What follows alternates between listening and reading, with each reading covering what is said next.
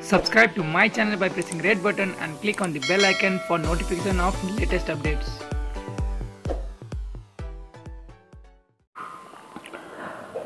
अमेरिकाले अगाडि सारेको इन्डो पेसिफिक स्ट्राटेजीलाई नेपालले अस्वीकार गरेको भनी चिनिया विदेश मन्त्रालयको विज्ञप्तिलाई लिएर अमेरिकाले नेपालको धारणा माग गरेको छ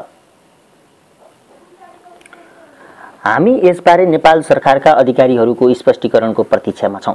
काठमाडौँ स्थित अमेरिकी दूतावासकी प्रवक्ता एन्डी आर्मेन्टले भनिन् बेजिङ स्थित हाम्रो दूतावासलाई पनि हामीले त्यहाँ जारी भएको विज्ञप्तिमा उल्लेखित तथ्यको परीक्षण गर्न भनेका छौँ।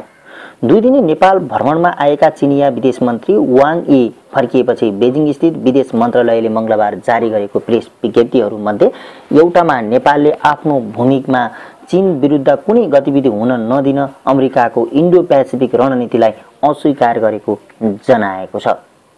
नेपाल असंलग्न नीतिलाई दृढताका साथ अस अङ्गीकार गर्छ। विदेश मन्त्री वाङसँग भेटवार्ताका क्रममा सत्तारूढ नेकपाका अध्यक्ष पुष्पकमल दाहाल प्रचण्डले राखेको धारणा उद्धृत गर्दै चिनिया विज्ञप्तिमा भनिएको छ।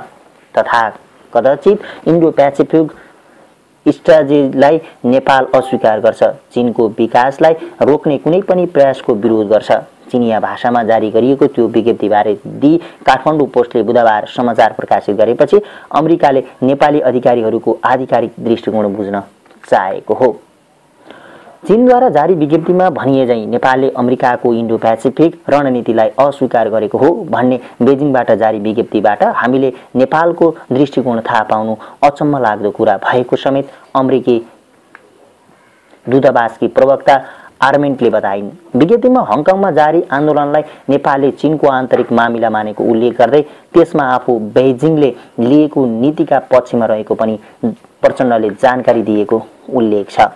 विदेश मन्त्री वाङले नेपाल भ्रमणका क्रममा राष्ट्रपति विद्यादेवी भण्डारी प्रधानमन्त्री केपी शर्मा ओली परराष्ट्र मन्त्री प्रदीप ग्यावाली लगायतका सत्तारूढ दलका अध्यक्ष पुष्पकमल दाहाल प्रचण्ड विपक्षी दलका नेता शेरबहादुर देउवासँग छुट्टा छुट्टै भेटवार्ता गरेका थिए।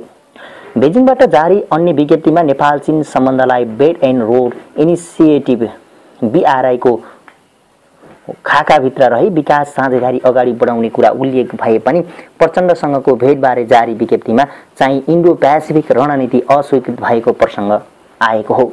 चिनिया भाषामा निकालिएको उक्त विज्ञप्तिमा उल्लेखित विवरणलाई काठमाडौँ स्थित चिनिया दूतावासले बुधबार पुष्टि गरेको छ। अमेरिका भ्रमणमा गएका परराष्ट्र मन्त्री ग्यावलीसँग गत डिसेम्बर अठारमा अमेरिकी विदेश मन्त्री माइकल पम्पेओले भेट गरेपछि वासिङटनले नेपाललाई आफ्नो इन्डो पेसिफिक स्टेजीको एक महत्त्वपूर्ण साझेदारीका रूपमा चित्रण गरेको थियो। दुई प्रमुख विश्व शक्तिको कूटनीतिक चेपुवामा परेको नेपालले त्यसप्रति खुलेरै सहमति वा असहमति जाहेर गर्न सकिरहेको थिएन।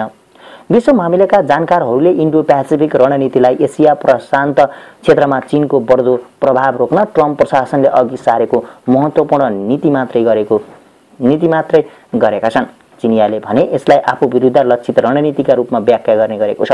चीन प्रवर्धित बिआरआईमा तीन वर्षअघि हस्तक्षेप गरेको नेपाल अमेरिकी रणनीतिको पनि साझेदारी हुँदा कुटनीतिक सन्तुलन कायम गर्न सतर्क रहनुपर्ने परराष्ट्र मामिला विज्ञहरूले बताउँदै आएका छन्। यसैबीच कुटनीतिक तहमा बाक्लै सन्देह प्रकट हुन थालेपछि परराष्ट्र मन्त्री ग्यावालीले इन्डो पेसिफिक रणनीतिमा नेपाल सहभागी नभएको प्रतिक्रिया दिएका थिए। अहिले प्रचण्डले त्यसलाई अझ प्रष्टसँग उल्लेख गरेका छन्। अध्यक्ष प्रचण्डले निजी सचिवालयले चीन र अमेरिकाको टकराव बेजिङबाट जारी विज्ञप्तिमा पनि देखिने गएको टिप्पणी गरेको छ। अध्यक्षज्यूले नेपालमा एक चीन नीतिप्रति प्रतिबद्ध रहेको र चीन विरुद्ध कसैले नेपाली माटोबाट गतिविधि गर्छ भने सरकार र पार्टी दुवैलाई मान्ने नहुने कुरा गर्नुभएको थियो। सचिवालयका एक अधिकारीले भने। इन्डो पेसिफिकबारे भित्र भएको एक्ला एक्लै बैठकमा कुरो उठेको भए म जान्दिनँ तर बाहिर आएर त उहाँले यसबारे केही बोल्नु भएको छैन।